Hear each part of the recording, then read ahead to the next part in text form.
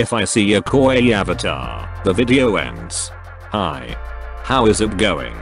Welcome to another Kogama video. I chose a game that was featured on the front page. Can you guess what is it?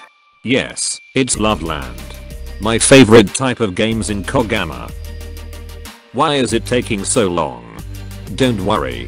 I'm a professional editor, so I can speed it up. Here you go. I actually don't know what kawaii avatar is. I guess it's a boy avatar that girls like or something. Oh really? I didn't even know I played this game before.